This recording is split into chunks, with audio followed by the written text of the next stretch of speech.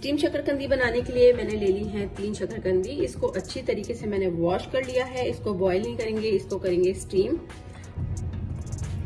थोड़ा सा ऑयल लेना है और इसको ब्रश से पहले हल्का हल्का सा इसमें ऑयल लगा देंगे ऊपर से ताकि अच्छी सी स्टीम हो जाए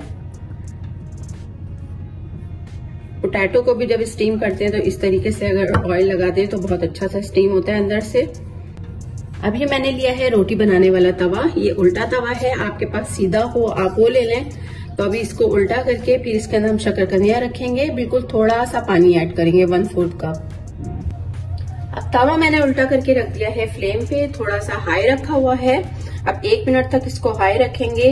वन फोर्थ कप मैंने लिया है वाटर, बहुत ज़्यादा नहीं लेना। ये वन फोर्थ कप इसमें वाटर हमने ऐड किया। और शक्कर को रख देंगे हम। इस तरीके से। कोई भी दूसरा तवा हो, इस टाइप का सीधा तवा तो हम इससे इसको कर देंगे कवर एक मिनट हो गया है फ्लेम हाई था, मैंने बिल्कुल स्लो कर दिया फ्लेम जिस तरह चावल दम रखते हैं हम। अब आफ्टर टेन मिनट इसको देखेंगे, अब इसमें स्टीम बन रही है। अब बिल्कुल इतना स्लो हमने फ्लेम रखा हुआ है टेन मिनट्स के लिए। टेन मिनट्स हुए हैं फ्लेम बिल्कुल स्लो है स्टीम इसमें बन रही है, आवाज़ आ रही है। अब इसकी करते हैं साइड चेंज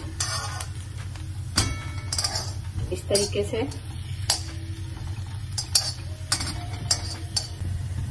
साइड मैंने इसकी कर दी है चेंज थोड़ी थोड़ी सी ये सॉफ्ट होना शुरू हुई है।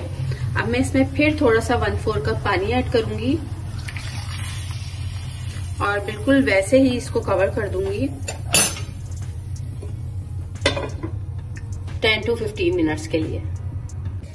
अब शक्करकंदी को 15 मिनट्स हो चुके हैं दूसरी साइड से। इसको देख लेते हैं। और ये बिल्कुल डन हो चुकी है सॉफ्ट हो गई है। अब मैं इसको डिश आउट करती हूँ। थोड़ा सा ठंडा हो जाए तो फिर मैं इसको सर्व करूँगी।